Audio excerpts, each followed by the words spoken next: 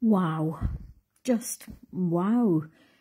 There are no words that can sum up how grateful I am for everything that happened yesterday. It was utterly amazing, unbelievable even. And I am so, so grateful for so many friendships, for so much support, for so much encouragement, and for so many kind words that I honestly don't think I deserve a big thank you to the folks of Greenlaw.